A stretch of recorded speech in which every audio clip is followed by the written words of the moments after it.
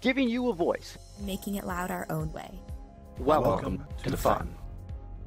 First Updates Now FRC is produced in partnership with Stryker. Discover why so many First alumni and mentors are putting Stryker first when it comes to their careers. Visit careers.stryker.com forward slash first to view openings, internships, and co ops tailored to those who are in first. That's careers.stryker.com forward slash first. And by the Blue Alliance. Keep up to date on all live and archived First Robotics events and team stats at thebluealliance.com. And also, viewers like you. We need your help to keep fun loud, live, and independent. Help us by visiting our Patreon to pledge your support at patreon.com forward slash first updates now. You can also support Fun live on Twitch for a few bucks a month or by linking your Prime account for free and clicking subscribe.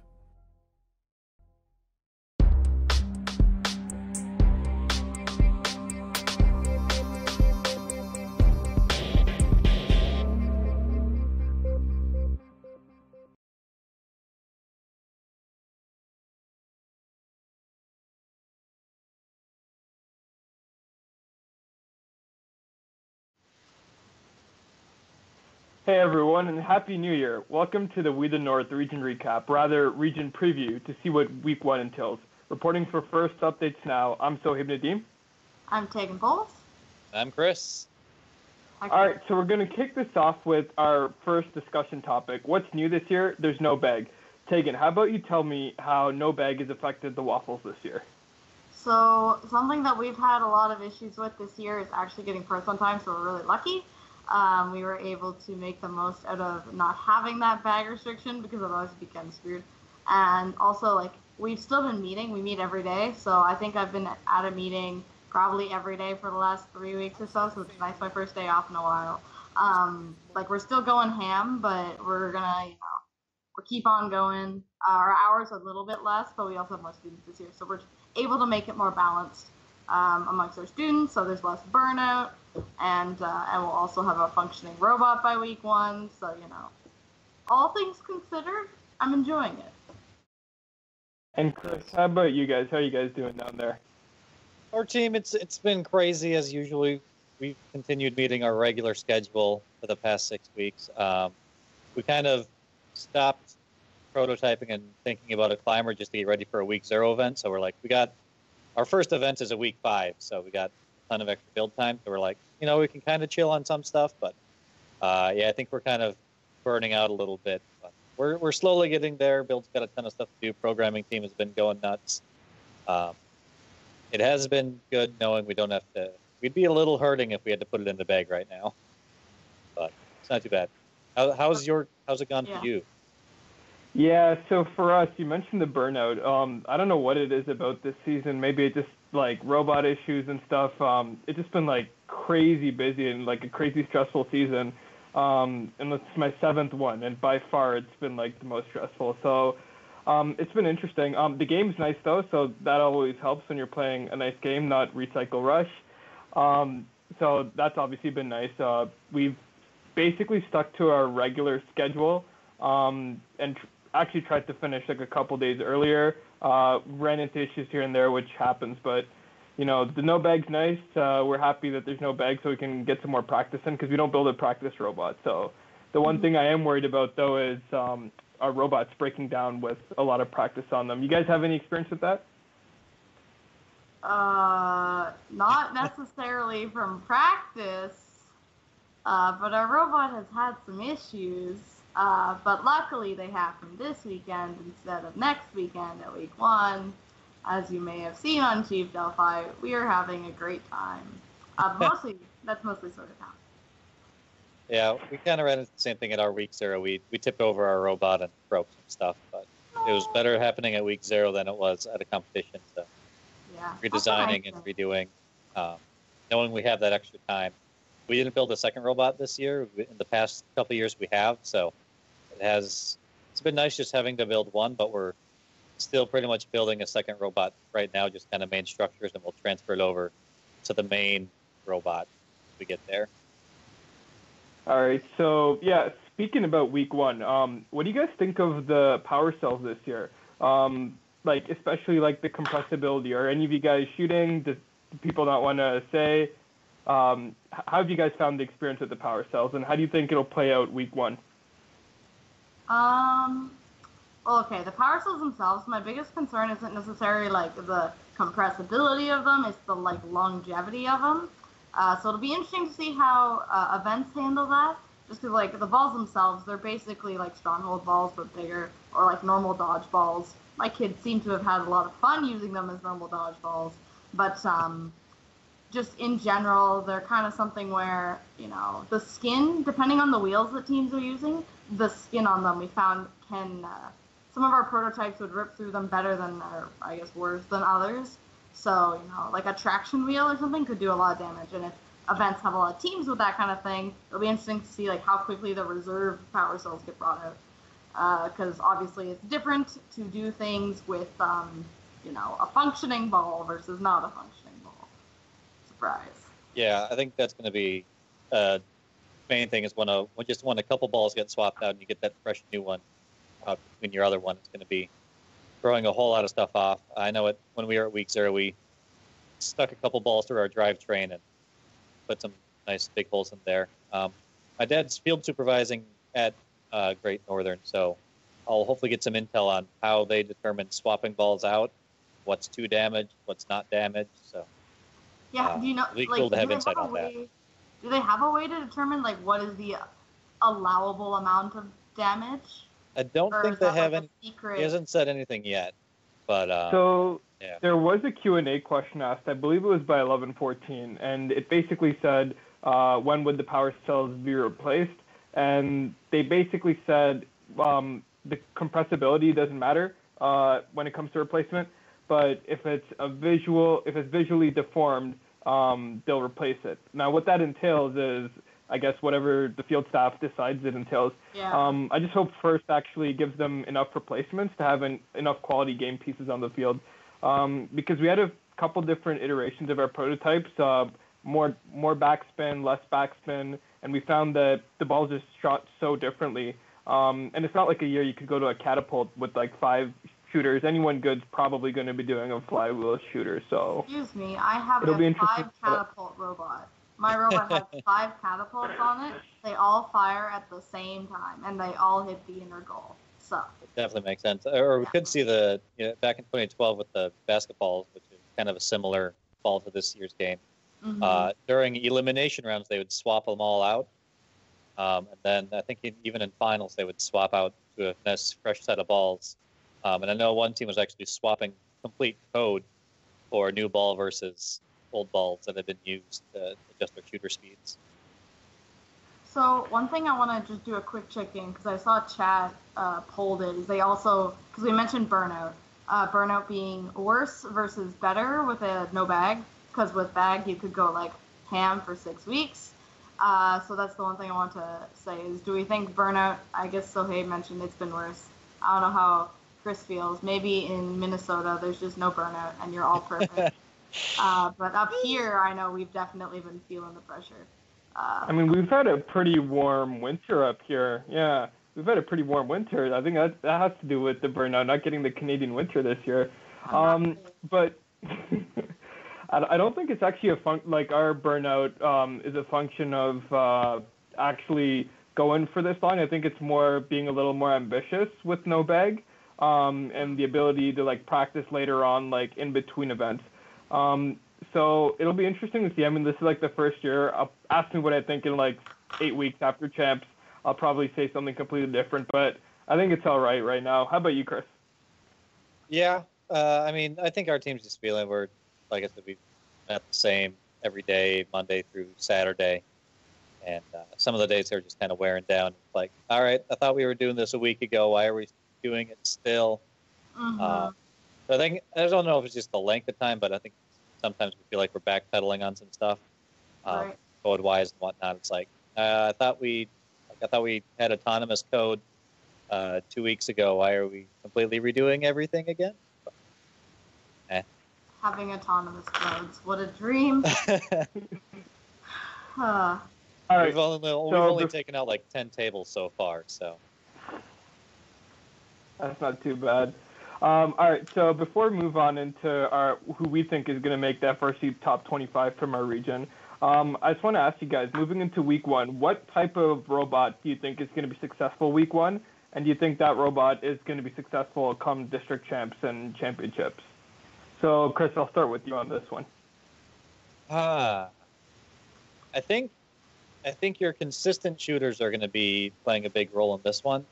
Um, further weeks, um, further out. I think uh, the balancing of the power will be there, but uh, uh, yeah, I think shooters, consistent shooters into the high goal quickly, I think are going to be uh, what people are going to be wanting to see. So I'm probably gonna have to disagree with you on this one. I think um, the shooting challenge, especially with used balls, is um, a lot more complicated than people give it credit for. Especially the indexing challenge. Um, I'm gonna bet the most successful robots week one um, are gonna be robots that can climb reliably and maybe climb with someone else, um, just because of like the ranking point. Uh, Tegan, what do you think? So I don't know who else got super hyped for the first official matches of the year this year, but like I was up watching Israel yesterday and this morning, and something that I noticed that really would make a team stand out week one was like autonomous. So it didn't matter necessarily whether your shooter was like amazing or your intake was amazing, but if you had those autonomous modes, like you were fine. You're not getting close necessarily. Like week one, you might have a few uh, matchups if you have like a stacked Falls Alliance uh, but there's not a lot of stuff that's like coming anywhere near that that uh, scoring RP. So like hangers will be awesome, and anyone that has a good autonomous doesn't even matter if you have like a low autonomous. The fact that you're scoring anything in general right now is like pretty OP. So like a climber, someone short that can drive around, or someone that even has a friggin' functional drivetrain at this point, um, that has like either the ability to score under the trench and run cycles, uh, or just someone who can do like a long shot. Like anyway, like all the time, scoring is going to be perfect. So well, not perfect, but it's going to be yeah, really strong. Yeah, yeah. Autonomous is also like the first tiebreaker this year, so right after Yeah. ranking points. So I think it'll be deciding a lot of the rankings, especially at early events. All right, um, now we're going to move into our top 25 predictions, and then we're going to move into our previews. Guys, so based on what we've seen and the videos our producer Tyler is, is playing right now, um, who do we think uh, is going to be on the FRC top 25 this year? One team each. Go. 2200. you stole mine. I'm the one who told you to put it in your event preview. You can't tell Oh. me you stole mine. I, you stole mine. Okay, Chris. All right, Chris, how about you? I mean, out of everybody, uh, uh, I'm terrible at predicting. I'm, I'm going to say there's going to be a couple of rookie teams that, that get up on this list. I think. I think some rookie teams are going to come out of the come out of the woodwork, get on this, get on that top 25s. That's what I think is going to happen. So, so hey, if you have to pick someone who wasn't going to be 2200 to make your top five, who would you pick? Um, can I d- pick 2200 squared? um, I'm gonna go. Uh, looked pretty good. yeah. Um, I'm Like gonna go with. Uh, I'm gonna go with uh, 610. Um, typically Durham week one come out nice and strong, so it'll be exciting to see parts team 610. Um, see what they can do. Looks like they have a pretty solid machine as always this year. Um, yeah, my bet's probably 610. Alrighty then. Well, before we get to previews, We have an awesome sponsor segment to roll, so roll the sponsor segment, Tyler. Well, it's time to sell out, guys, and let's check out with uh, friends at Stryker. So, uh, guys, if you haven't uh, if you haven't been watching Fun, you know about Stryker, right? Strykers are amazing friends uh, all around the world that have some incredible uh, positions posted, not just uh, for careers looking for, lots of internships as well too. So if you go to careers.stryker.com forward slash first and join the careers network there, lots of great options available. Here's the best thing about Stryker: if you're in first, which if you're listening to this, I sure hope you are, because first content or fun content is made for those in first. Stryker wants you. They want people who are in first. They want to pay them a butt ton of money, and then they want to support you for being in first. That's not a bad deal. So if you're actually volunteering events, they're going to make sure you take are taken care of. If you are uh, traveling for events, they're going to make sure you're taken care of. So Stryker is an incredible company. S T R Y K E R dot com forward slash first. Go check them out. yes, do all the things. Because Stryker is amazing. I mean, I like like money, so I mean, it's not Um, hard to sell. But yeah, so uh, I guess we'll get right into these previews. Uh, I'll kick it off with The Great Northern Regional. all the way up in North Dakota, Grand Forks. It's a great place, lovely time. Um, We went there the North first year they Dakota, had it. Where is North Dakota? uh, it's left from Minnesota, right below Canada. It, it, it's crazy. It, you know, maybe you'll find it someone of one of these days. Um, but we got 60 teams going into this. Um, again, it's week one, so who knows what's going to happen in these matches, um, how they'll play out. Um, we got teams coming in from five states 49 from Minnesota, six from North Dakota, one from South Dakota, one from Colorado, one from Wisconsin, and one brave Canadian team is making their way down.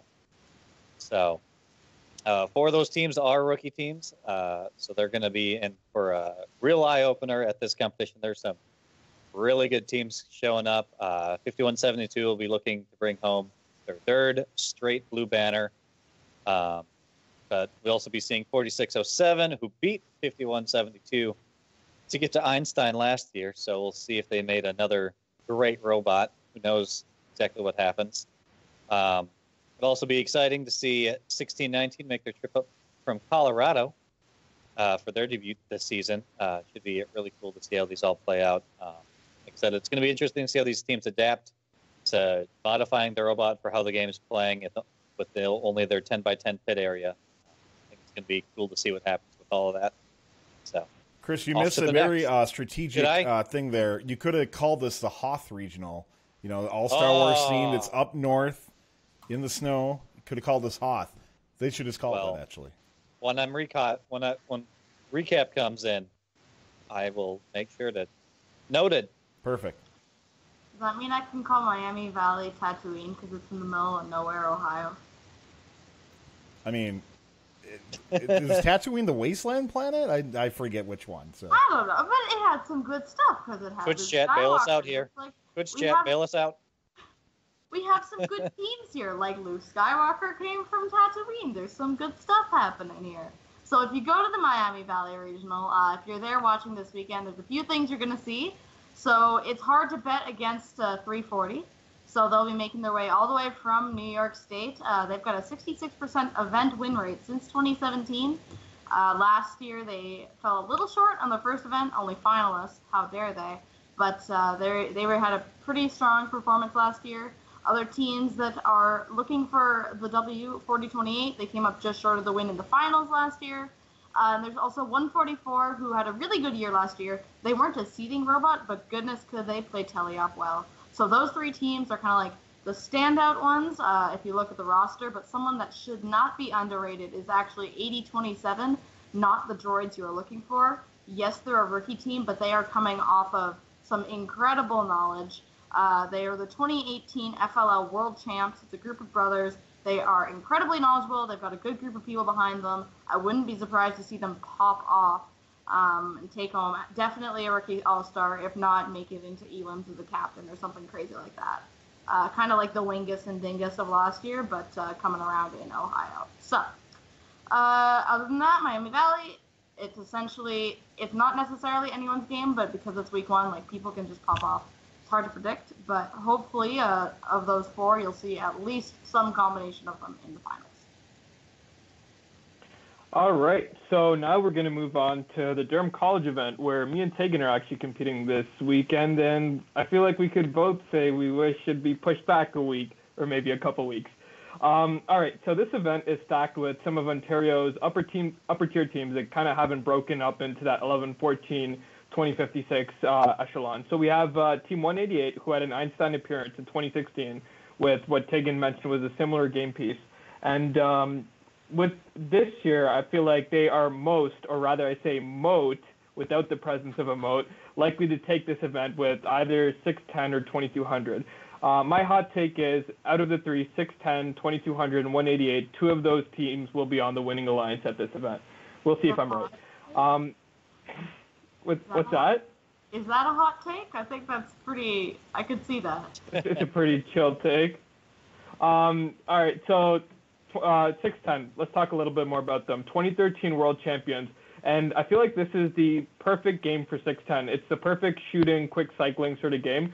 Um, one of the underdogs, though, is going to be 6135, who were the first team this year to display that awesome indexer that teams like Spectrum, 610, Mechanical Advantage, and a lot of the uh, open build teams are actually using, and it looks like it's uh, a very solid indexer. And one of their mentors is actually um, uh, an ex-Celtics mentor from their Einstein finals appearance last year. So it'll be interesting to see how they do. Um, 2200, um, Tyler's going to be playing a video of them shortly, but uh, their shot looks incredibly powerful, and they have two flywheels on there. Um, here's just some video of it practicing, but it just seems they can shoot very quickly. And it also looks like they have a climber buried on there, so it'll be interesting to see how they do, and I expect them to do really, really well. Um, 4976 and 4039 are basically Ontario's uh, workhorses at this point. They do very well every year, nice, solid robots, and it'll be interesting to see how they play at a nice early event. Um, I'm going to say climbing consistency is going to be absolutely key, um, especially if the game piece problem ends up being anywhere close to what I think it's going to be. I think climbing is going to be very key, and I think towards the end of the event, uh, teams that can shoot from up close will have an advantage unless the game pieces are being regularly replaced. So um, that's pretty much all we have for tonight. Uh, thanks everyone for hanging out with us and talking robots. Fun needs your help to stay loud, live, and independent. Please consider giving your support uh, by joining Fun Nation with a subscription or bits on Twitch, becoming a Patreon at patreon.com slash first updates now, or just letting people in First Robotics know that this is a place to get your First Robotics fix. Don't forget to check us out on our Discord, YouTube, Facebook, Instagram, Twitter, and of course, live on Twitch. If you're watching live, make sure you stick around for the Best of the West recap coming up shortly at 9 p.m. Eastern. On behalf of myself, Tegan, Chris, our producer Tyler, and the moderators in chat, I'd like to thank you for tuning in, and we'll see you next week on the We the North Region Recap. Take care, everyone. See ya. Thanks for watching. If you want more fun content, be sure to subscribe and ring the bell to be notified about our latest videos. You can also directly help support Fun by visiting our Patreon at patreon.com forward slash first updates now or by subscribing at twitch.tv forward slash first updates now. Thanks to all of our co-executive producers on Patreon and Tier 2 Plus subscribers on Twitch, keeping fun loud, live, and independent.